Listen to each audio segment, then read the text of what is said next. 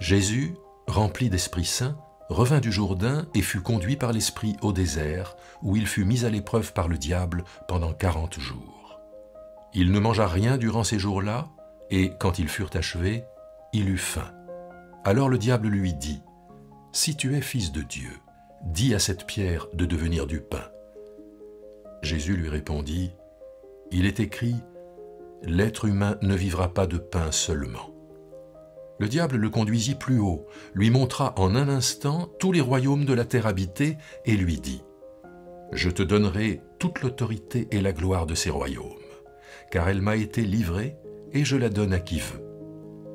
Si donc tu te prosternes devant moi, elle sera tout à toi.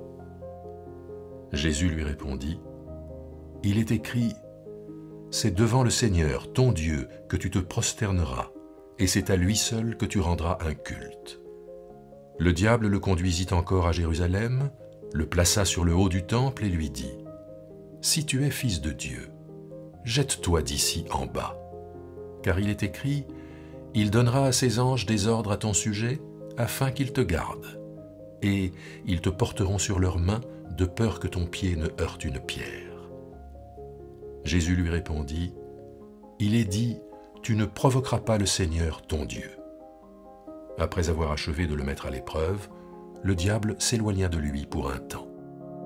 ce texte est celui qui est proposé à notre méditation pour le premier dimanche du carême, et euh, il suit juste le baptême de Jésus au moment du baptême de Jésus, l'Esprit est tombé sur lui sous la forme d'une colombe, et là, ce même Esprit qui a été donné à Jésus le pousse au désert, le pousse au désert pour qu'il ait cette euh, confrontation avec celui qu'on appelle le diable. Le premier élément est l'environnement géographique. la tentation, cette confrontation a lieu dans un désert. Alors, le désert, euh, dans la Bible, ce n'est pas une belle destination touristique. Euh, le désert, c'est le lieu de l'épreuve. Le désert, c'est le lieu de, l'aridité. Euh, il est brûlant le jour, glacial la nuit. Et c'est le lieu où les, les vocations se font ou se défont. Et d'une certaine façon, c'est au désert que la vocation de Jésus, cette vocation qui lui a été donnée au baptême, tu es mon fils bien-aimé, c'est le lieu où cette vocation va être éprouvé, va trouver son vrai sens. Au désert, Jésus rencontre le diable. Alors le mot diable, euh, diabolos euh, en grec, euh, ça veut dire le diviseur. Alors le diable est pas très présent, mais on le trouve quand même assez régulièrement dans la Bible. Alors certains disent que c'est une forme, une puissance spirituelle, d'autres qui disent que c'est simplement un phénomène psychologique. Mais quelle que soit notre lecture du diable, ce que nous devons entendre, c'est que c'est ici une force qui essaye à, opposer Jésus à sa vocation. Euh, cette vocation a été reçue au baptême, tu es mon fils. Jésus donc est, fils du Père et envoyé du Père au baptême. Et euh, dans cette période du désert, la tactique du diable, on peut dire, ça va être d'essayer de séparer Jésus de sa vocation.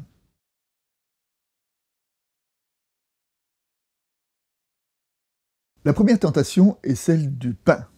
Le texte nous dit, après 40 jours de jeûne, Jésus eut faim et, on le comprend. Et à ce moment-là, le diable l'attaque sur euh, le lieu de sa faim, le lieu de son, désir, en lui disant bah, Tu as faim, mais alors utilise, utilise tes dons, utilise tes pouvoirs, transforme ces pierres en pain et assouvis ta faim. Et Jésus répond Il ne répond pas en disant que le pain n'est pas important. Il dit L'homme ne vivra pas de pain seulement, mais de toute parole. Il y a le pain, mais il y a aussi la parole. Euh, le désert a creusé en Jésus la faim de pain, mais aussi la faim de parole.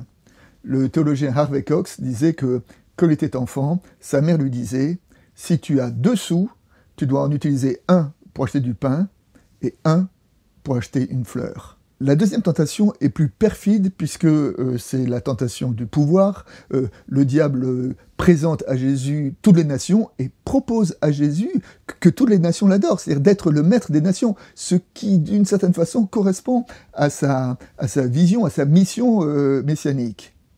Simplement, le type de pouvoir que Jésus, ou le type d'autorité que Jésus veut exercer sur les nations, ce n'est pas une autorité qui s'inscrit dans le registre du diable, c'est-à-dire qui s'inscrirait dans le registre de la domination, mais une autorité qui s'inscrit dans, dans le registre du, service. C'est comme ça qu'il a c'est dans cela qu'il a inscrit la totalité de son ministère, et il l'a lui-même formalisé lorsqu'il a dit vous savez que ceux qui paraissent gouverner les nations dominent sur elles en seigneurs et que les grands leur font sentir leur autorité. Jésus dit, il n'en est pas de même parmi vous, au contraire, quiconque veut devenir grand parmi vous sera votre serviteur. Et bien, de cette manière, le diable appelle Jésus à dominer dans le sens de l'autorité de la, de la possession, alors que Jésus veut exercer son autorité dans le sens du service. La troisième tentation est celle que je dirais de la séduction religieuse. Hein. Le diable prend Jésus, le monte en haut du temple. Alors, le temple, c'est le lieu religieux par excellence, c'est le lieu où les hommes viennent pour, pour faire leur sacrifice. Et le diable dit, regarde, jette-toi de là. Et si jamais il y a des anges qui viennent te ramasser, mais quel succès tu auras Toute la foule sera en admiration euh, devant toi. Et cette tentation, donc, c'est la tentation de la, de la séduction. C'est aussi la tentation du supranaturalisme, hein, c'est-à-dire utilise euh, ton, tes miracles euh, pour pouvoir euh, exercer ton, autorité. Et cette tentation, euh, on va la retrouver tout au long de, l'évangile. On voit que tout au long de l'évangile, il va y avoir une sorte de quiproquo entre Jésus et les foules par rapport justement à, à, ces miracles, où les foules le suivent parce qu'ils veulent plus de miracles, alors que Jésus dit, mais les miracles ne sont pas une fin en tant que telle, les miracles sont simplement un signe qui désigne une parole, et Jésus est venu pour la parole, alors que la foule la voulait pour le miracle. Et d'une certaine manière, cette tension, cette contradiction, entre Jésus et la foule, eh ben, elle, est, résumée ici dans cette troisième tentation. Le dernier verset dit que, après avoir achevé de le mettre à l'épreuve, le diable s'éloigna de lui pour un temps.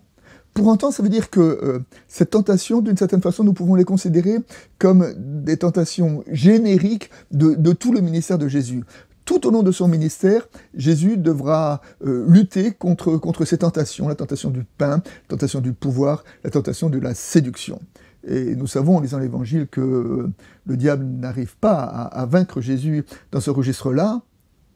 En revanche, l'histoire nous oblige de constater que le diable a eu beaucoup plus de succès euh, avec l'Église et que malheureusement dans son histoire, euh, l'Église a souvent utilisé euh, la richesse, a souvent utilisé le pouvoir, a souvent utilisé la séduction pour arriver à ses fins.